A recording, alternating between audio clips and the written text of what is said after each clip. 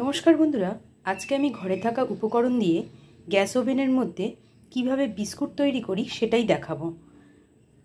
Biscuit তৈরির জন্য নিয়েছি এক কাপ ময়দা, এক কাপ সাদা তেল, হাফ কাপ সুজি, বেকিং পাউডার, তিন চামচ চিনি, সাদা তিল, একটা ডিম। একটা বোলের মধ্যে প্রথমে এক কাপ সাদা তেল দিয়ে দিলাম। দিলাম, গুঁড়ো করে রাখা চিনি। ভালো করে মিশিয়ে নেব। এবার দিয়ে দিচ্ছি সুজি। আবার ভালো করে মিশিয়ে নেব।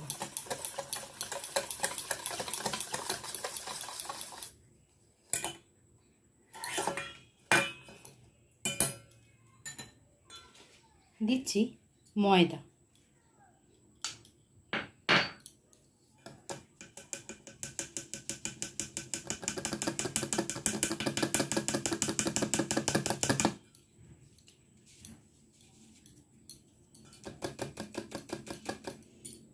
দিচ্ছি হাফ চামচ baking soda. Sorry, baking powder.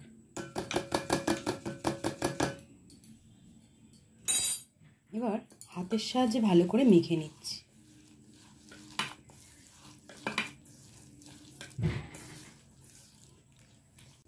ডোটা রেডি হয়ে গেছে। এবার এখান থেকে সমপরিমাণে টুকরো করে নিয়ে আমি বিস্কুটের আকারে গড়ে নেব।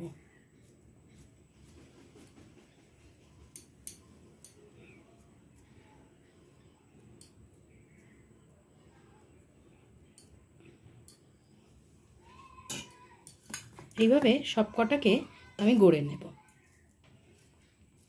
বিস্কুট গড়া হয়ে গেছে, এবার একটা প্লেটের উপর তেল ব্রাশ করে নিচ্ছি।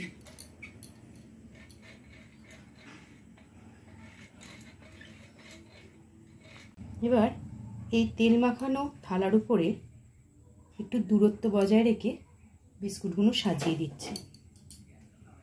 এবার এর ওপরে দিয়ে দেবো ডিম।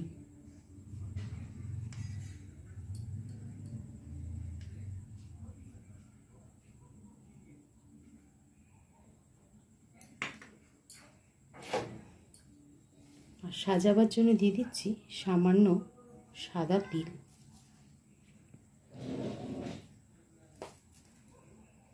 কড়াইয়ের মধ্যে এটা বসিয়ে দিচ্ছি।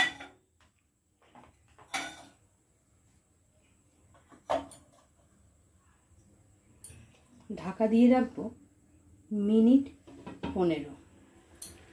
আঁচটা মিডিয়াম করে দিচ্ছি। এবার পনেরো মিনিট বাদে দেখে নিচ্ছি এই যে রেডি হয়ে গেছে বিস্কুট। হ্যাঁ পনেরো মিনিটের বেশি আমার সময় লেগেছে, ওই মিনিট চল্লিশ মতন। আঁচটা একেবারেই সিম করে দিয়েছিলাম। এবার একটু ঢাকা দিয়েই রেখে দেব। গ্যাসটা অফ করে দিয়েছি।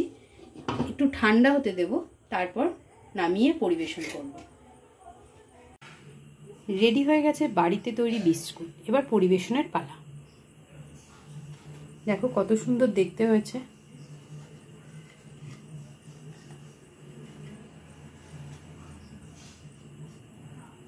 দেখুন, বিস্কুটটা কতটা খাস্তা হয়েছে। এইভাবে নিজেরা হাতে করেই বানিয়ে নিন বিস্কুট এবং বাড়ির সবাইকে খাওয়ান আর আনন্দ পান। রেসিপিটা ভালো লাগলে লাইক, কমেন্ট, শেয়ার করতে ভুলবেন না।